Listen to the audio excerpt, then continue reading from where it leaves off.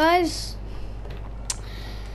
Um, so there's um, I'm bringing out three series for Franklin, Michael, and Trevor. I'll name them out. So Michael's basically supposed to be a killer, and I'm sure you know this killer. If I guess though.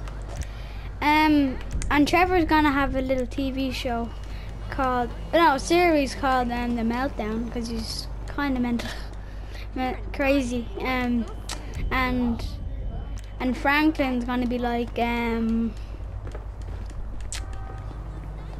He's gonna be like a gangster. Yep. Sure, he already is, but I think he's retired now. But we're gonna get back into that. See, I already I had to set up the clothes for thing for Michael, Franklin, and Trevor.